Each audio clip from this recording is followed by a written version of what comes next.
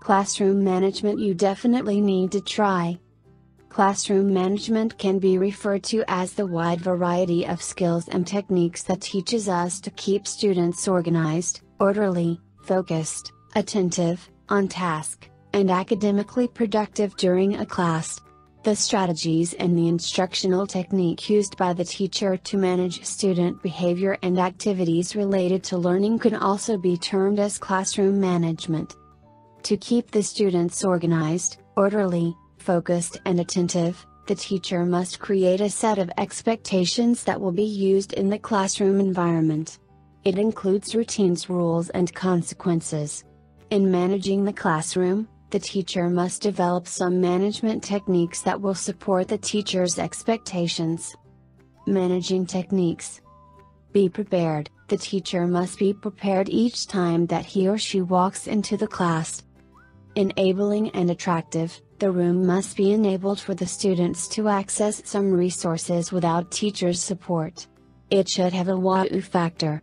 Something that will make the students want to be part of the class. Set classroom rules. Students must be aware of the boundaries and expectation of the room by forming classroom rules. There must be a constant reminder of these rules and the enforcement of the consequences. Be fair, the teacher must ensure fairness when dealing with issues. What applies to one must apply to all.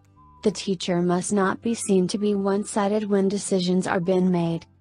Record keeping teacher must find a way of keeping good students' record to motivate them to be better and to also encourage another student to emulate them. Difficult behavior.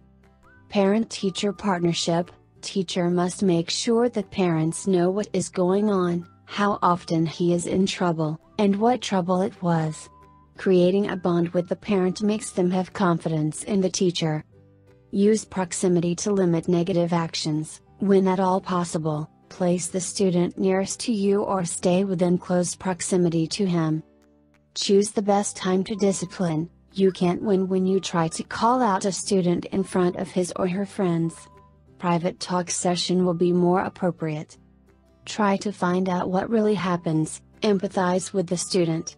The teacher should find out what is really going on. You can even get someone to talk to the student. Build on common ground, teacher can find a way to relate to the student on common ground, it could be in sport, band, or sibling. The teacher can build on it and check if the root of the issue can be located. Never give up, no matter the behavior, the teacher should never give up on trying to reach the student. Do you want to teach English abroad? In conclusion, in order to teach effectively, we need classroom management skills.